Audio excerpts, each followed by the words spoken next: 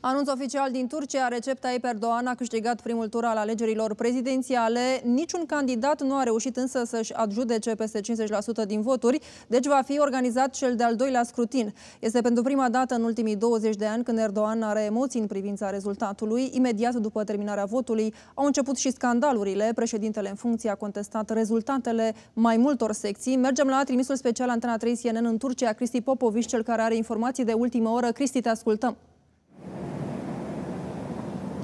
Vin rezultatele finale parțiale, spun parțiale pentru că mai sunt de numărat în jur de 30.000 de voturi din străinătate și de rezolvat niște contestații, însă nici unele, nici celelalte nu mai pot influența votul final, transmite președintele Consiliului Electoral Suprem de aici din Turcia, iar aceste rezultate arată în felul următor. Recep Tayyip Erdogan cu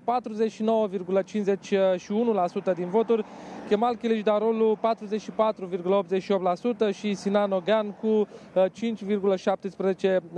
5,17%. Diferența dintre Erdogan și Kılıçdaroğlu în număr de voturi undeva la 2,3 milioane de voturi. Iar Sinan Ogan a luat undeva la 2,8 milioane de voturi, adică mai mult decât diferența dintre primii doi candidați. Asta înseamnă că la alegerile de peste două, două săptămâni, pe 28 mai, Voturile acestea vor uh, cântări decisiv în uh, alegerea câștigătorului uh, turului electoral. Vor încerca ambii candidați și Erdogan și Clijdarolu să-și atragă voturile lui Ogan. Acesta pe rețelele de socializare a avut un mesaj că în următoarele zile se va decide alături de susținătorii săi pentru ce tabără va alege, fie cu Erdogan, fie cu Kılıçdaroğlu.